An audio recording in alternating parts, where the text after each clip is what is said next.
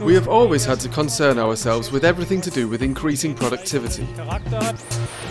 We need to get to the market quickly. We can't have any waste. We have to remain competitive on location. And I think that this is not just a subject relevant for management, it's important for everyone here. If we want to be successful on the market, we need to use this tool. We're talking about Industrie 4.0. It is no longer just a theory, the practice is now being applied in many German businesses. The demands of a global competition have rapidly increased in recent years. However, in the innovative German market in particular, numerous companies have succeeded by using these challenges as opportunities. And just as the number of companies and products rise, so do the numbers of potential solutions that Industrie 4.0 can offer. Energy transparency systems now make it possible to monitor and manage all energy flows and use energy sensibly. For instance, the excess heat energy from a machine can be used to warm up other machines or to heat up the air of the production site in the winter. In order for it to work, one thing in particular must be in place. We need transparency. What's happening where with the energy we're using? And in which areas can we possibly be more efficient? Or where can we substitute components to be able to save energy? But above all, we could sensitize our employees much, much more to the subject of energy. And that is really worthwhile. Analyzing complex data not only saves energy, but also ensures the highest quality standards and seamless processes. Production is often about nano-precision. In the worst case, even a simple speck of dust in the wrong place could lead to an entire system malfunction. Smart networking with predictive maintenance can drastically reduce such downtime. Good samples, with which the produced workpieces can be compared to by the smart system, are the key.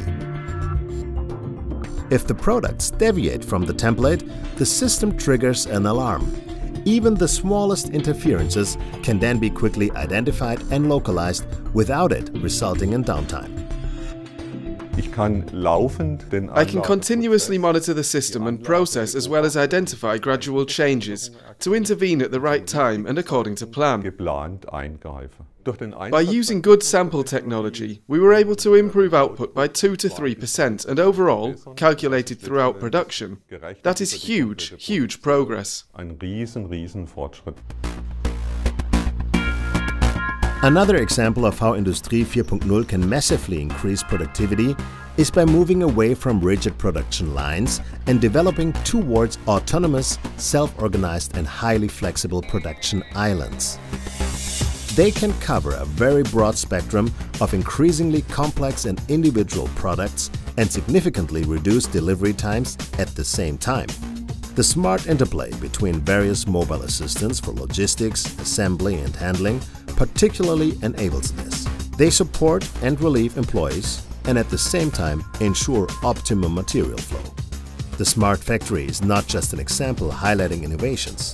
The figures it leads to are also impressive.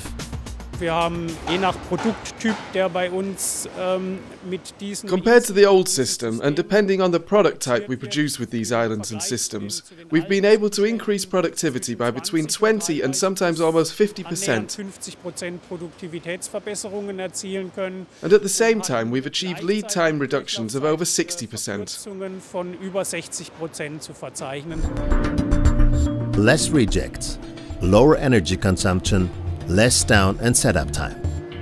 Instead, more quality, more flexibility, more output, and improved working conditions.